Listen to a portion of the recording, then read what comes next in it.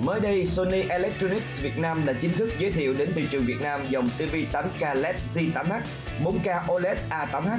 Master Series OLED A9S, 4K LED X9500H, X9000H, X8500H, X8050H và X7500H được nâng cấp chất lượng hình ảnh và âm thanh với những công nghệ đẳng cấp từng xuất hiện trên dòng Master Series.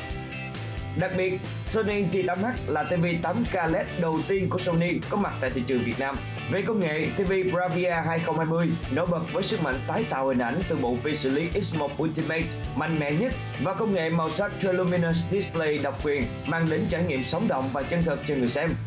Nhà sản xuất cho biết âm thanh trên sản phẩm cũng được nâng cấp hiệu suất với công nghệ mới cho trải nghiệm âm thanh hoàn mỹ. Về thiết kế bên ngoài, sản phẩm mang phong cách tối giản, sở hữu chân đế hợp kim, liên khối với khung kim loại đẹp mắt.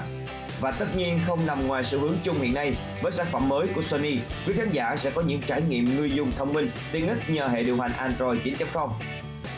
Quý khán giả có thể liên hệ các siêu thị điện máy và các cửa hàng phân phối chính thức của Sony tại Việt Nam để có thể biết thêm thông tin chi tiết về sản phẩm.